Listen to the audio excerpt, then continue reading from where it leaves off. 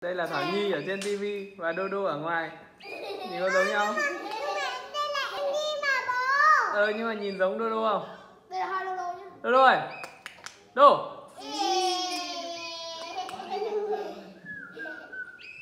Giống y hệt luôn nhỉ?